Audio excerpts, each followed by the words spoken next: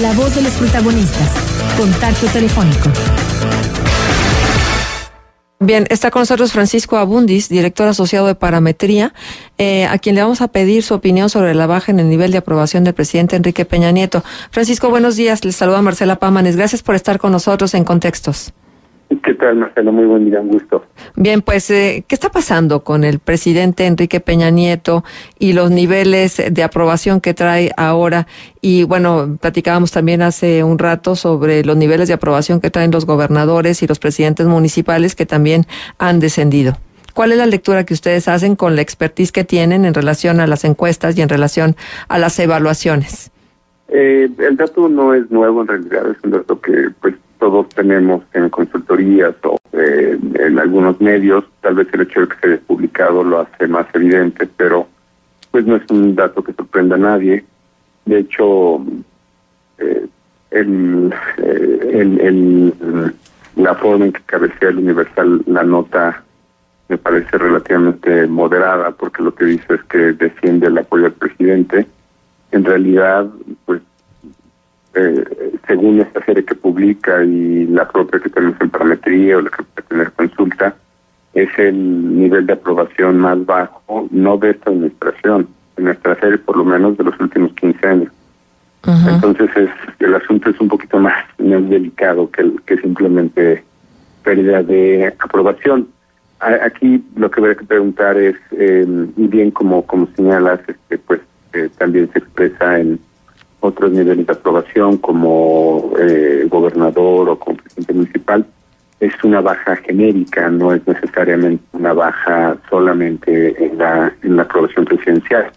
Entonces, eh, pues una segunda pregunta, manera de hipótesis sería que aquí la gente está evaluando al presidente o en realidad está haciendo una evaluación de toda la clase política.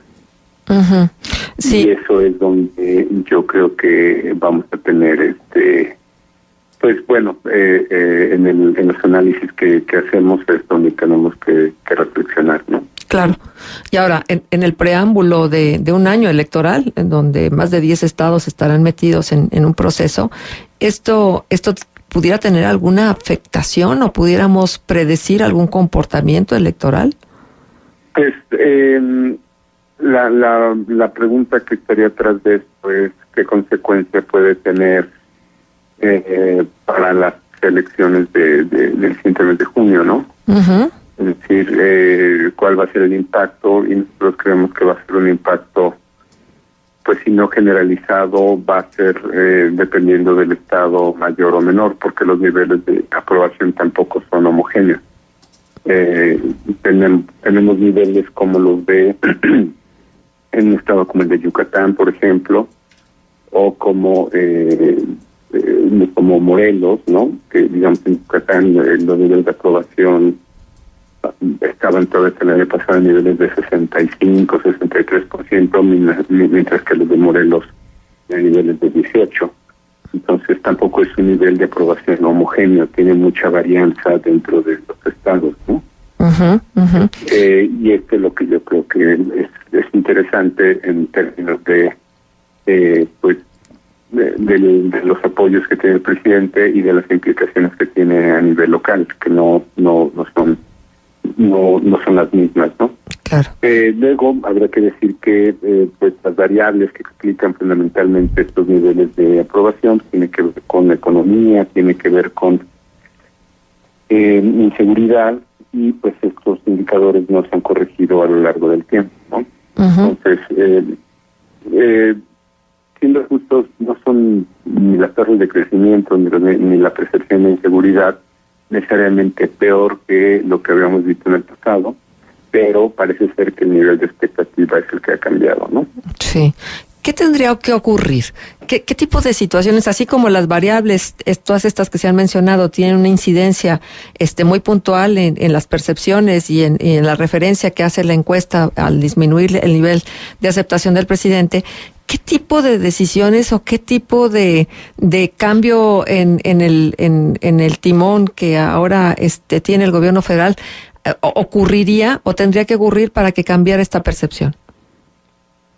Eh, pues es, difícil eh, porque como bien viste en esta serie o en otras que, que, que, tenemos, como te digo, no es un, no, uno no es nuevo, dos sí es una tendencia, es decir, es una tendencia a la caída prácticamente en los últimos dos años.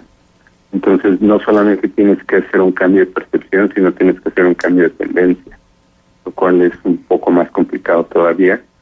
Y eh, lo que, pues, creo que tendría que hacer, y, pues algunos análisis así lo sugerían desde hace tiempo, era cuestiones como cambio en el gabinete, como pues eh, otro otro tratamiento de temas como los conflictos de interés, mandar un cambio de señal en el comportamiento, el cual pues da la impresión de que no, no lo hemos visto, ¿no? Ajá. Ahora, eh, tal pareciera que es una epidemia porque eh, la, falta de aceptación o la disminución de la aceptación de, de, los ciudadanos está ocurriendo eh, prácticamente en todos los países de América Latina. hoy en la mañana amanecíamos con, con esto de que, por ejemplo, Bachelet, que es una, es, es una figura muy, muy estable hasta cierto punto, pues también ha disminuido de una manera importante y nos vamos y revisamos cada uno de los países en, en Latinoamérica y sucede exactamente lo mismo. Igual podríamos revisarlo en todo el mundo y estaría ocurriendo igual. ¿Será que el factor economía está pesando mucho? Mm, sí, en parte, pero no, digamos, es, eh, siempre está relacionado. Pero hay algunas excepciones, digamos, tenemos el caso de Correa, ¿no? Que, sigue siendo un presidente bien evaluado. Evo Morales, aunque no haya pasado su referéndum de reelección, no deja de ser bien evaluado. Este, mm, son, sí, digo, ciertamente la economía es la variable más importante de, afectación, digamos, de estas, de estas variables, pero pues no, no, no sé si sea la, la única o nuevamente afecta por igual a todos los lugares, ¿no? Hay lugares donde tiene mayor impacto que, en otros.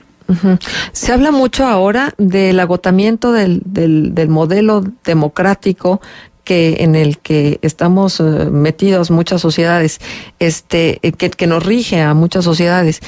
¿Será que, que, que este hartazgo ciudadano está cada vez haciéndose, eh, va increciendo, va, va aumentando eh, año tras año, sexenio tras sexenio, administración tras administración y llegará un, un momento en que, en que ya haya una incredulidad total y, y que entonces ahora sí los niveles de desaprobación sean muchísimo mayores?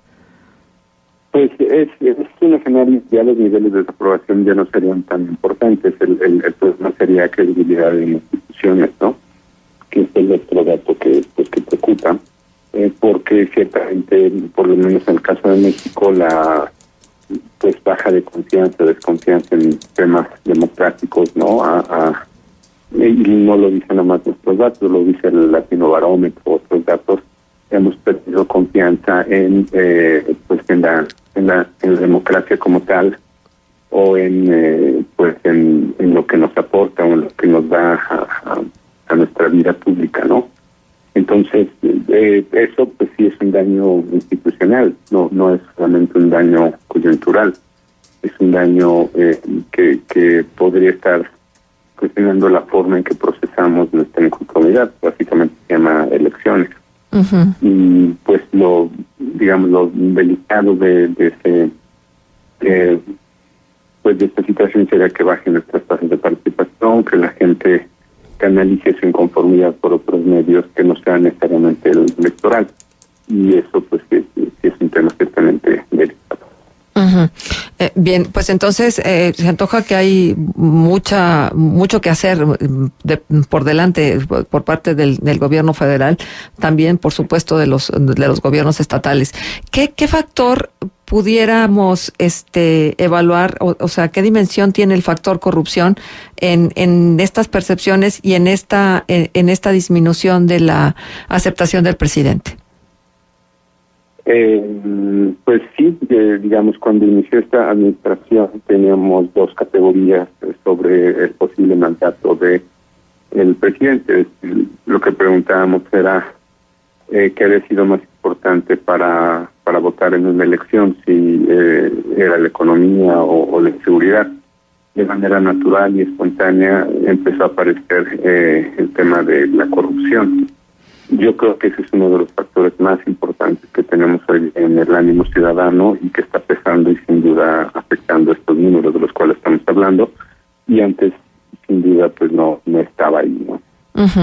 Corrupción de la mano con impunidad también, porque se dan a conocer los los, los casos de corrupción y, y no pasa nada, ¿no? Esta, esta sensación de que no pasa nada. Es la combinación de, de, ambos factores, pero pues la, el, genérico que la gente conoce más es el de corrupción, ¿no? Y, y ustedes que han hecho tantas evaluaciones, ¿dónde, ¿dónde queda, por ejemplo, la falta de Estado de Derecho, que es algo que también se ha ponderado mucho y que está de la mano con la corrupción y con la impunidad? Pues es el, digamos, eh, mm, ahí el, el, el, problema para el ciudadano es eh, evaluar de quién es responsabilidad. Sabemos que el judicial está en pues uno de los niveles más bajos de, de también de eh, evaluación. Nunca ha sido muy alto pero eh, pues con digamos cualquiera que haya tenido contacto con el ministerio público el sistema judicial ya no digamos jueces sabemos los niveles de corrupción que existen eh, y pues ciertamente estos niveles de corrupción este pues afectan al ciudadano el ciudadano que no ha tenido contacto con el sistema judicial o con un ministerio público puede que tenga un, nivel ligeramente más positivo, pero todo aquel ciudadano que ha tenido contacto con el sistema judicial, eh, tenemos evidencia de que empeora su su eh, pues su eh, evolución de la institución, cual,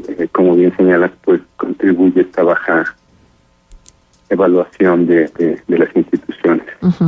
Bien, Francisco, pues muchísimas gracias por aceptarnos la llamada y por hacernos estos comentarios que para nosotros son muy importantes. Gracias. Al contrario, un gusto. Hasta luego, gracias, Francisco Abundis. Gracias. Francisco Abundis, director asociado de Parametría, estuvo con nosotros en Contextos.